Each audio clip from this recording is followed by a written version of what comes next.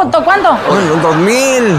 Dos mil a que no. Tu sueldo, ¿cómo ves? ¿Tu sueldo? ¿Cuánto apuestas? ¿Tu sueldo? Dale, ponle. ¿Tu